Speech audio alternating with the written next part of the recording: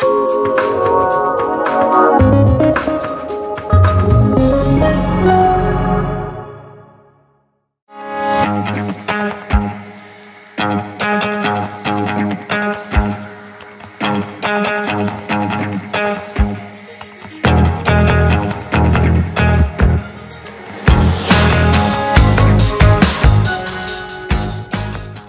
ability to take your HMI and migrate that up to a SCADA system for a plant expansion gives you scalability and flexibility that can be a huge benefit to any automation system. Let me show you how easy it can be.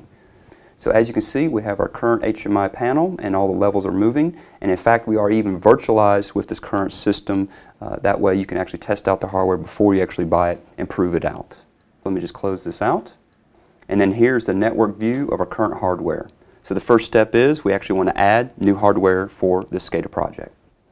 Let's go to the actual PC systems, down to panel PC. There is the 12 inch we want to use and it's a touch PNIe. Let's drag and drop it onto the network view. At this point we'll get a photorealistic view of this PC. We have it now on the network with the other hardware and of course for an HMI we have to add a runtime. So let's go add the WinCC RT Professional, drag it directly onto the PC, let go, and ultimately it'll marry up the PC and the runtime together. Okay, so now we have the hardware. Let's click on the connections button. So all these different pieces of hardware are highlighted. If I just mouse over any one of them, doesn't really matter. I'm going to mouse over the PC runtime, and I'm actually going to drag and drop that over to our controller and let go.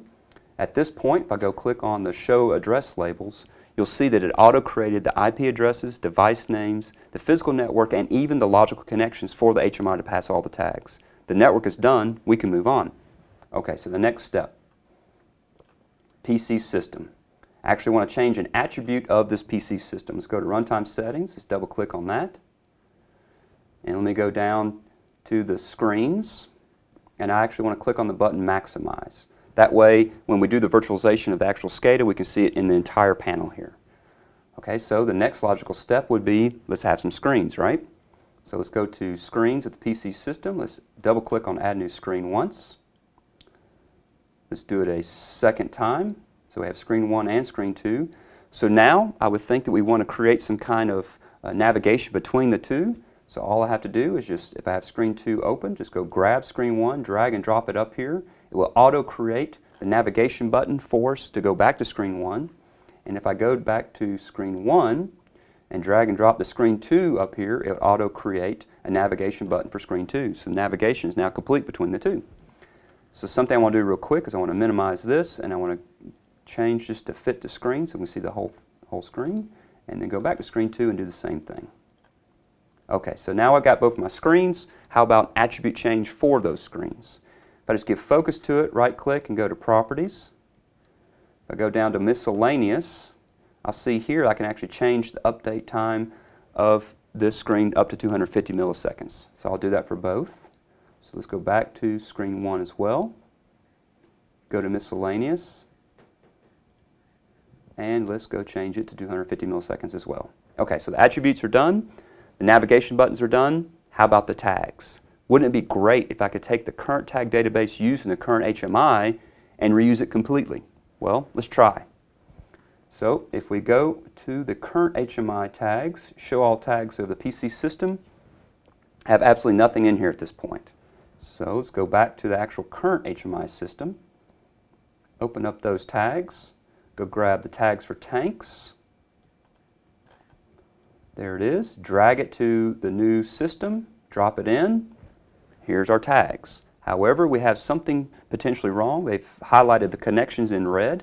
So let's go mouse over that and just click on it and go show that. So basically what it's saying is we've already got this connection going to the HMI panel. We have to create a new HMI connection to the SCADA system.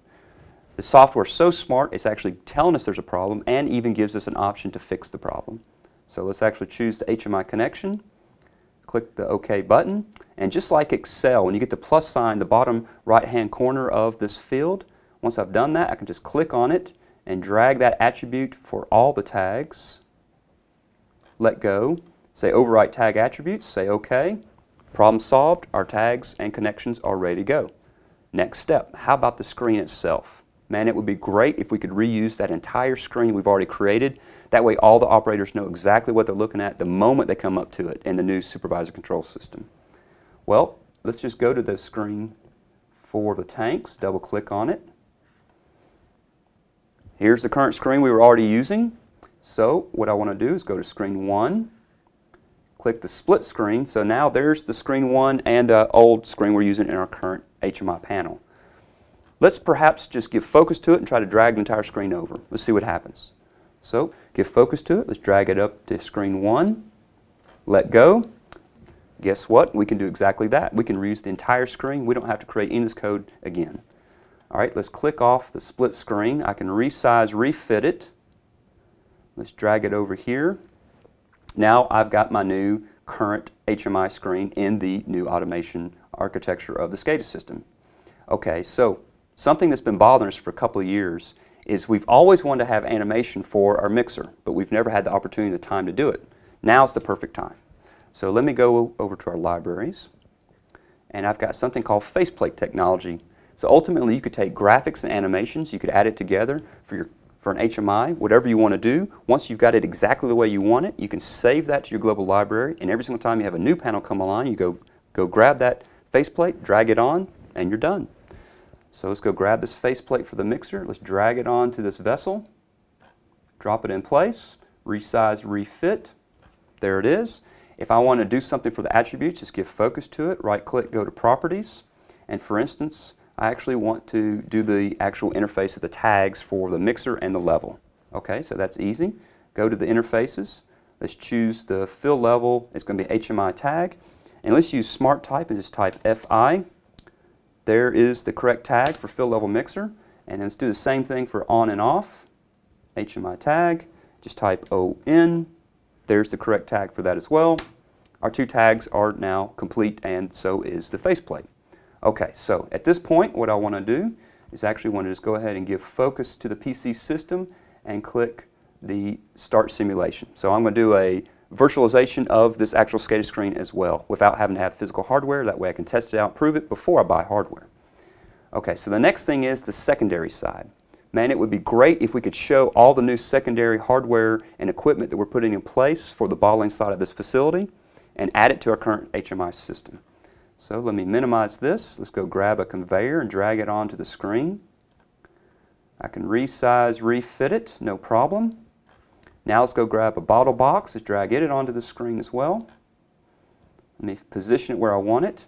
Now I can do an on-the-fly animation of this bottle box. Just give focus to it, right-click, go to Properties, go to Animations, Movements, click on Horizontal Movements, the moment I get a shadow box in the arrow, just grab the front of that arrow, drag it across the screen to the endpoint. Now that's done, all I have to do is go to the process tags and just type palette. Use smart type, I'll find palette position, that's the correct tag I want to use. Now our on-the-fly animation is complete. However, there's one other thing I want to show you. How about actually doing a screen-and-screen -screen or pop-up technology? So let's actually, okay, there's our screen. So let's go to screen two real quick double click on him. And let's go grab the control icon for this. It's called Screen Windows. Drag it on. This is an ActiveX control. You can see a little alignment bars just like in PowerPoint. That way you can align your boxes wherever you want to and get everything sized right. Let's resize, refit them on to the screen. And now that I've got focus on them, I want to change an attribute, right? Just right click, go to Properties. At this point, let's go to the physical properties in general. And if I just go grab screen one and drag it on to displayed screen directly into the properties, I'll see everything I've already created on this little uh, screen screen or pop-up box I've created. So now everything is complete. All I want to do is give focus to the PC system, click on the compile. So now it's going to compile the two new things that I've done. You'll notice that ultimately I'd already started the simulation. I did two different changes to the screen during this time after the fact. It's actually going to compile that into the, the system. Once we actually go into the actual PC runtime, let's open it up. So as you can see, I have entire screen architecture pulled over from the current HMI panel into the SCADA, including the faceplate, which is animated as well. I've also got my secondary side of the animation for the bottling side of this particular facility. I was able to accomplish all that, as well as going back to screen two, Here you can see the, the screen and screen or, or pop-up technology of everything we just created and we just pulled it into it and we were able to accomplish all those tasks in just a matter of minutes. Now that's engineering efficiency.